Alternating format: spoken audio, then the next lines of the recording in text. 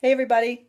I never wait for people to get here because I personally do not like to sit and have somebody sit there for like five minutes while I'm watching the video replay because most people are going to watch the replay of this anyway because it's the days before Christmas and people are crazy and they're shopping and trying to find a freaking parking spot and wondering what the hell they're going to get Uncle Bob, who's like a geek and, you know, but you're still supposed to give a gift because you picked his name this year. Anyway, so that's all the shit that's going on. Um, I thought today I would talk to you about the magical essence of slowing down and stretching time. So, what do I mean by that? Um, one of the things that happens is we rush around frantically and we, you know, we're like moving fast, we're making decisions fast, we're adrenaline out. We're like blasting cortisol into our system because we're all, you know, stressed out with everything that we have to do. We have so much to do. We have so much to do. We have so much to do. Hey, Giselle.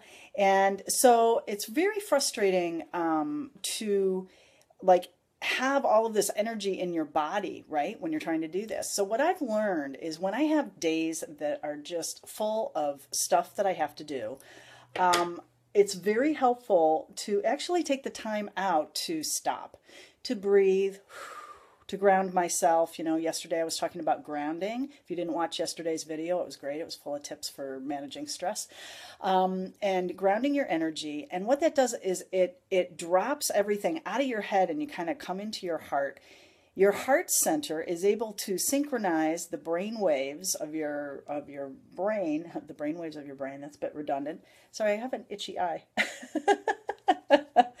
I'm always authentic on these videos. Um, and what it does is it allows higher order thinking to happen. You're going to be more efficient if you take the time to slow down and breathe. If you actually slow your physical actions down, you know how we rush around in the morning trying to get our kids off to school? If you slow down and you actually just breathe and move slowly, you're going to be a lot more efficient. You're not going to forget the shit that you have to go back in the house to get. You're not going to get the kid to school and realize you didn't get the lunchbox. Um, you're not going to get out of the store and realize that you didn't get Uncle Bob's gift that you went in there for to start with, because then you segued off into getting your daughters all this other stuff that you know you, you saw and got inspired by. So my point is, if you slow down, your brain is going to stay engaged on the task at hand. The second tip is to actually affirm I have more than enough time to do all that I have to do with ease and grace. I have more than enough time to do all that I have to do with ease and grace. So, what are you doing? You're blasting out energy in front of you. You want to pregame. I'm talking about pregaming all the time.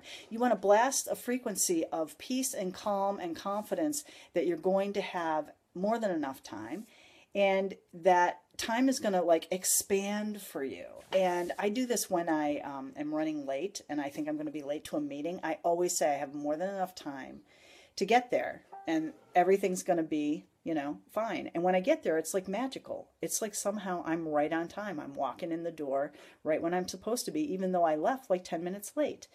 So remember that we're living in a quantum field. We're living in a field of infinite possibilities. So if you're running around like a freaking idiot, like crazy, crazy, and you're saying, I don't have enough time, I don't have enough time. And that's what everybody does. So, what they're doing is they're pre gaming, they're sending energy ahead of them into the field saying, I don't have enough time, I have too much to do, I'm crazy, crazy.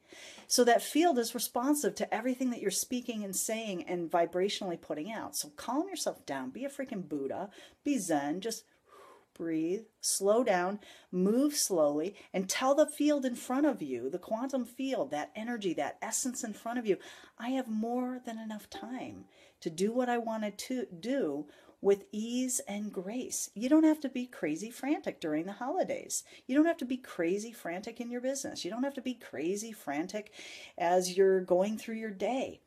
Be intentional about creating and crafting that space ahead of you that you're walking into having it hold your intention of I have more than enough time. I'm going to drive in and find a parking spot at the mall, you know, instead of oh my god, I'm never going to get a parking spot at the mall. Like it's crazy, everybody's out shopping today, right? No, say hey, I'm going to drive right in. Boink, there's going to be a perfect thing. I'm going to walk in. I'm going to easily and effortlessly get my gifts. I'm going to find the perfect gift. I'm going to get out, and it's all going to be done, and I am going to be joy filled and happy and relaxed. So that's my tip for the day. Try it. It works. It's weird. It's magic. It's freaky. We are living in a freaky world, you know, when you think about the quantum field and all the infinite possibility that's right between me and you. And you might as well pregame and throw your energy out and your intentions out and then walk into it and experience what it is that you desire to experience. Bye.